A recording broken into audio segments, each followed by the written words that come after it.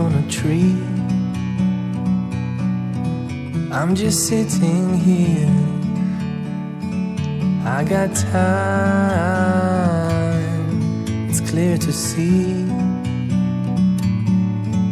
From up here, the world seems small. We can sit together. It's so beautiful, you and me. We meant to be in the great outdoors, forever free.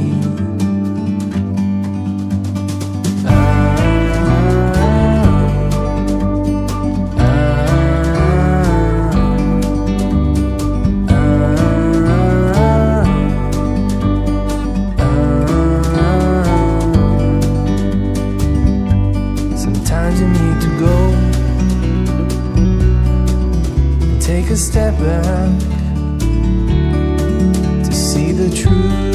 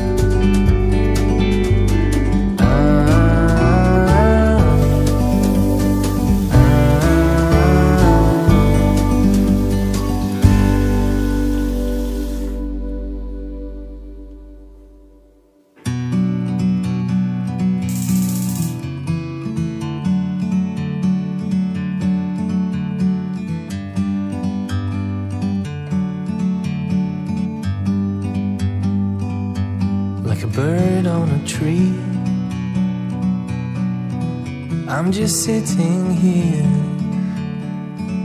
I got time, it's clear to see. From up here, the world seems small. We can sit together. It's so beautiful,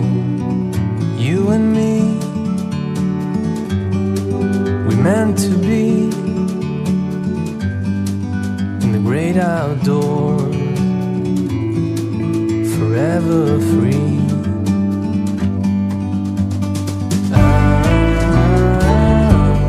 Menina, já passei as roupas do Miguel aqui, tá vendo, ó? Graças a Deus, tudo passadinho. Agora falta só guardar, amigas, essa tábua aqui. E eu vou recolher as roupas que ainda tem um pouquinho varal. Que terminou de secar hoje, por conta do tempo de chuva, né? Então, olha só aqui, ó, tá vendo? Deixa eu acender a luz aqui pra vocês verem, ó, tá vendo? Tem essas roupas aqui que eu vou recolher. E aquilo lá é tapete, pano de chão, que também tá seco, eu vou recolher também, tá? Então, vou recolher aqui e depois eu volto.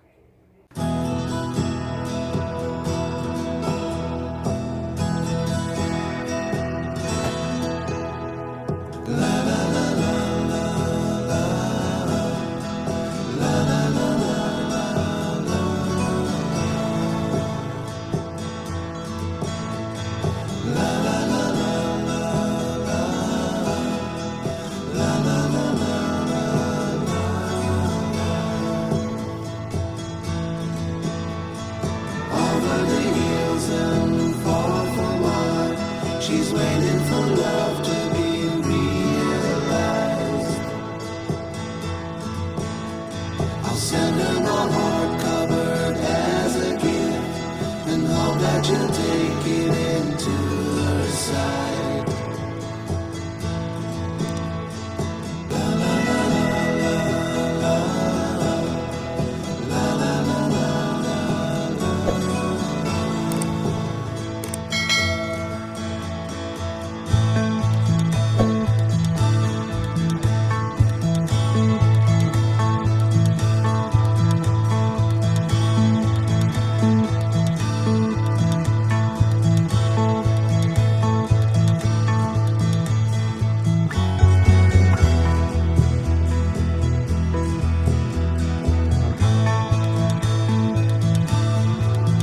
roupa dobrada, agora falta só guardar.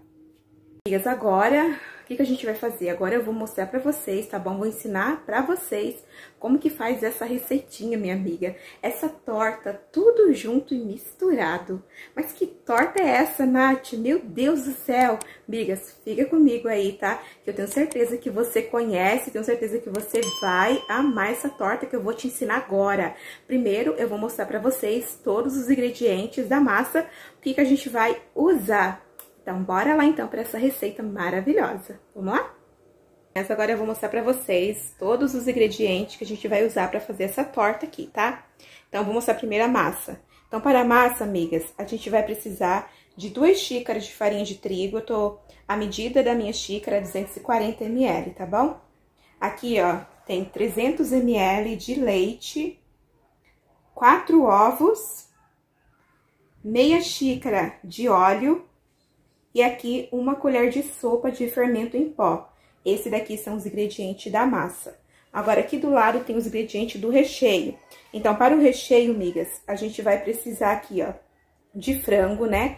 Aqui eu tenho uns 400 gramas, tá? Um pouquinho mais, marido disse que tem 420 quase gramas aqui de frango desfiado já e cozido. Aqui a gente tem, migas, olha, uma lata de milho verde, uma lata de ervilha, um sachê de molho de tomate. Aqui a gente tem, ó, uma cebola e três dentes de alho já triturado aqui, que eu já triturei no meu triturador. Uma cenoura picada. Então, esses aqui são os ingredientes para nossa torta, tudo junto e misturado. E vocês vão saber o porquê que essa torta, ela é tudo junto e misturado. Bora lá, então, começar com o recheio. Vamos embora lá então para o nosso fogo. Ou melhor, para o nosso fogão. Simbora.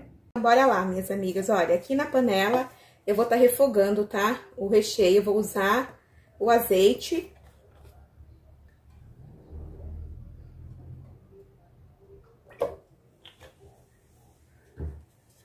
E eu vou estar tá colocando, meninas, olha, a cebola e o alho. Deixa eu ligar aqui o meu fogão.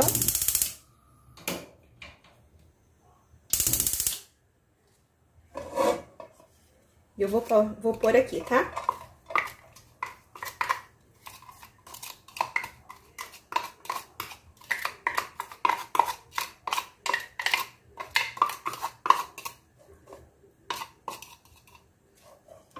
Vou esperar dar uma douradinha, tá? Nesse alho aqui com essa cebola.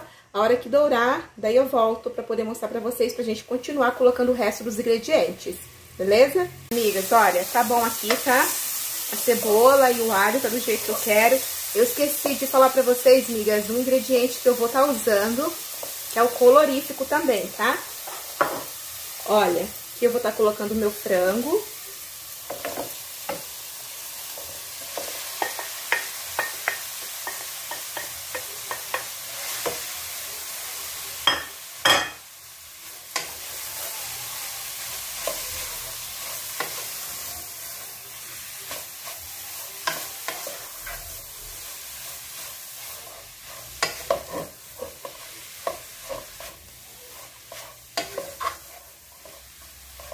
Tá colocando, migas, aqui, ó, cenoura.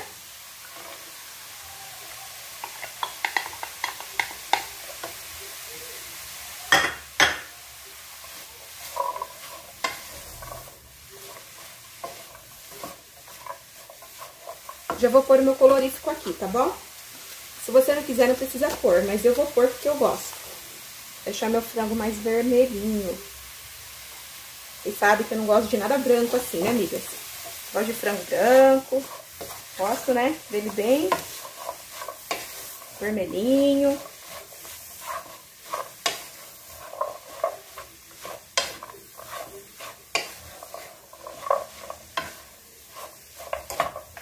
E aqui, amigas, olha, eu já vou estar tá colocando o resto dos ingredientes, que é ervilha,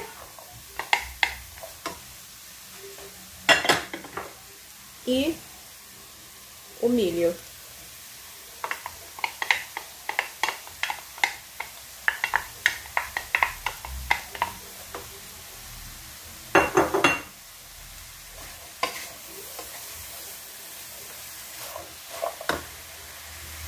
Amigas, eu vou acertar aqui agora um pouquinho de sal, tá? Mas é coisa pouca, porque o meu peito de frango já tava cozido com sal. Então, vai ser coisa pouca, amigas, tá? Ó, porque lembrando, tá? Que eu esqueci de falar pra vocês, mas na massa a gente também vai colocar uma pitada de sal. Beleza? Não tem segredo não, viu? Pronto, agora a gente vai colocar, ó, o sachê de molho de tomate.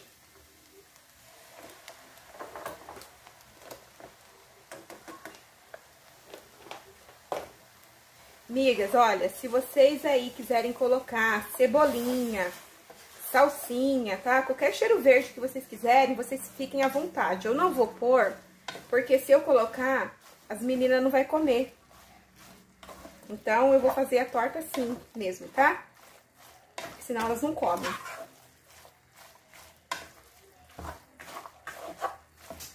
Ó, tá vendo, amigas? Ó.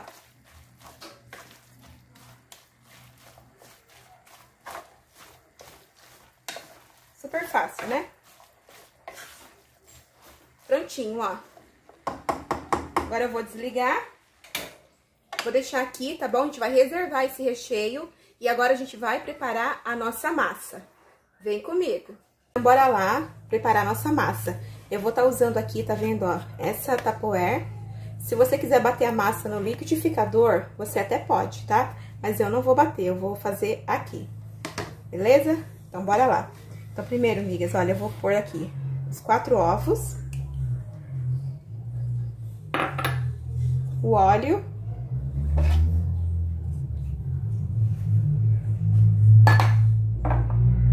leite. Bora mexer isso aqui, tá?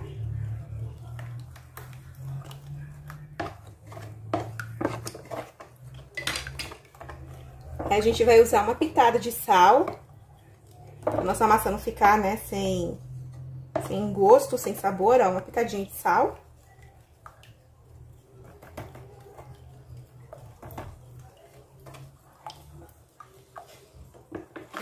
E aos poucos, amiga, a gente vai estar tá acrescentando a farinha de trigo, tá?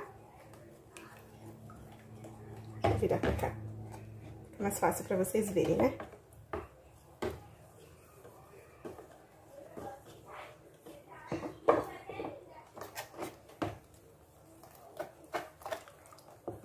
Tiver fouet aí, quiser mexer, fica à vontade. Eu não tenho, tá?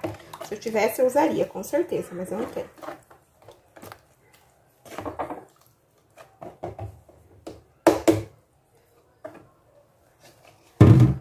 A gente vai mexer aqui, tá?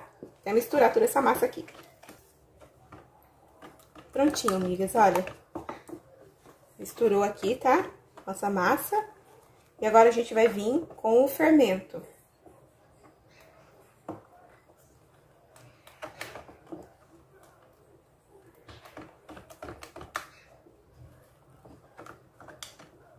Lembrando que o meu forno já tá pré-aquecido, tá, amiga? Já tá ligado já. Então, enquanto você vai preparando a massa aí, vai ligando o seu forno. 180 graus.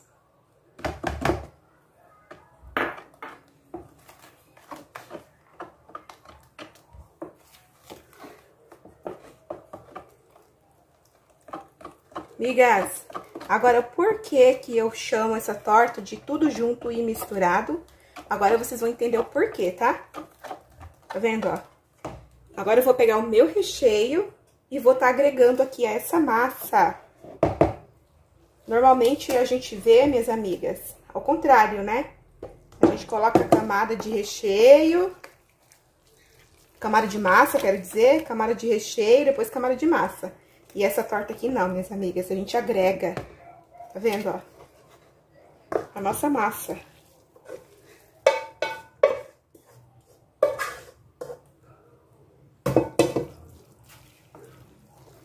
Vamos misturar aqui, né? Bem misturadinho.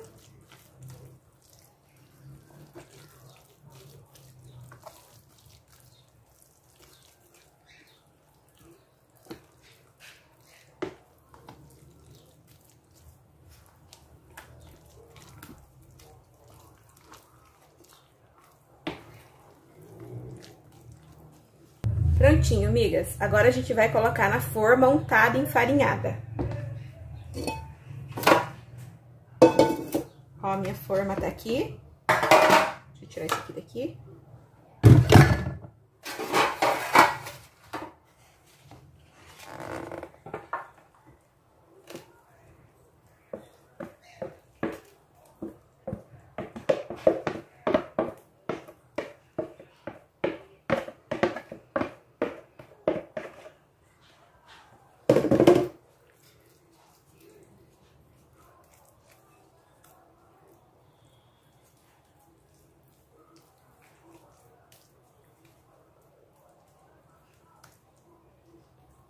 Então, minhas amigas, olha, agora a gente vai estar levando para o nosso forno, tá bom? Bora lá, quando essa torta estiver pronta, eu volto aqui para poder mostrar pra vocês. A torta aqui já saiu do forno, olha só que delícia. Agora a gente vai cortar, tá, amigas? E eu vou estar colocando no... Não, filha, pera. A Alice tá doida pra experimentar essa torta, gente. E eu vou estar colocando no... Ai, num pratinho, tá, amigas? Pra poder tirar foto. Meninas, coloquei uns pedaços aqui. E a Letícia vai experimentar. Você tá morrendo de fome, vai, Letícia? a mãe tá aqui, gente. Vai falar oi, mãe. Oi! Miguel Nossa. acabou de tomar banho. Nossa, o quê? Palmas pra essa, gente, tá perfeito. Tá gostoso, Letícia? Uhum. Hum, vou experimentar aqui também, meninas. Pera aí. Quer experimentar já logo, mãe, para as meninas ver? Mãe tá com vergonha, amigas, tá? Ela disse que tá com vergonha não, gente. Só viria a câmera, tá? Vovô não tá vergonha não, vovô. Vou quem vergonha eu? Nunca. Hum, muito bom, meninas. Vocês viram, ó? Deixa eu mostrar pra vocês. Tá bem fofinho, ó. Ó. Opa. Aqui, amigas, ó. Bem fofinho. Delícia, viu? Então, a gente vai... Isso aqui praticamente vai ser a nossa, nosso café janta, né? De hoje.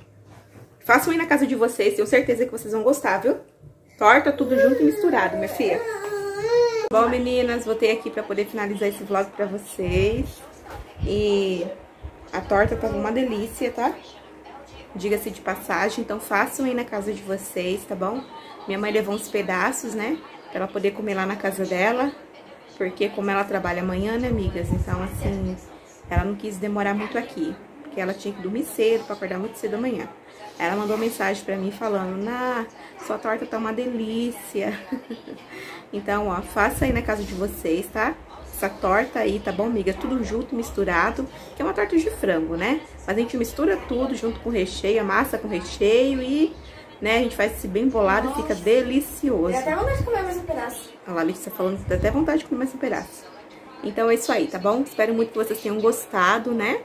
De acompanhar aqui, tá? Que foi um pouquinho do vlog, né? Misturado com essa receita. Espero muito que vocês tenham gostado, tá? Eu fiz com todo o meu carinho pra vocês aí, tá bom, amigas? Olha, fiquem todas agora, tá? Com Deus, fiquem com a mensagem pra poder fortalecer e edificar a nossa fé. Até o próximo vídeo, se assim Deus permitir, tá bom? Ó, beijo pra vocês, meninas. Tchauzinho! Gênesis, capítulo 21, verso 2 E concebeu Sara e deu a Abraão filho na sua velhice, ao tempo determinado que Deus lhe tinha falado. No capítulo 15 de Gênesis, Deus ele faz uma promessa a Abraão, que ele teria um filho, mesmo Abraão já sendo velho e a sua esposa estéril. Deus promete, pois ele é poderoso para cumprir. O tempo passou e nada da promessa se cumprir. No capítulo 16, nós vemos que Abraão e sua esposa tomam uma decisão precipitada e Sara dá a sua serva para Abraão gerar um filho nela. Tal atitude, minhas amigas, trouxe grandes problemas para aquela família, pois não era dessa forma que Deus havia prometido um filho a Abraão. Eles não esperaram o tempo de Deus para o cumprimento da promessa e sofreram graves consequências por não esperarem o tempo de Deus. Muitas pessoas em nossos dias têm tomado essas mesmas atitudes, não esperam o tempo de Deus em suas vidas e acabam sofrendo graves consequências. Quantos casamentos fracassados existem hoje por causa de precipitações? As pessoas simplesmente não querem esperar e muitas vezes procuram atalhos para chegarem mais rápidos em seus objetivos. Mas quando não é no tempo de Deus, dificilmente dará certo. Conheço muitas pessoas, sabe, minhas amigas, que até têm chamadas ministeriais, mas por não querer esperar o tempo certo, mudam de ministério, querendo antecipar o cumprimento da promessa, mas acabam se frustrando. Muitas pessoas que, na ansiedade de se casarem, namoram com pessoas sem consultar a Deus, sem se conhecerem direito, casam-se e têm um casamento frustrado, tudo por não saber esperar o tempo de Deus. Eclesiastes capítulo 3, verso 1 nos diz: Tudo tem o seu tempo determinado, e há tempo para o todo propósito debaixo do céu. No capítulo 21 do livro de Gênesis, vemos que Deus cumpriu integralmente tudo o que havia prometido a Abraão. Se ele tivesse esperado o tempo certo, teria evitado muitos problemas em sua família. Que possamos aprender com esse exemplo e possamos esperar o tempo de Deus para o cumprimento de Suas promessas em nossas vidas. E nunca se esqueça que Jesus te ama e eu também. Até o próximo vlog, se assim Deus permitir, e eu creio que Ele permitirá. Fiquem todos na paz do Senhor Jesus. Amém?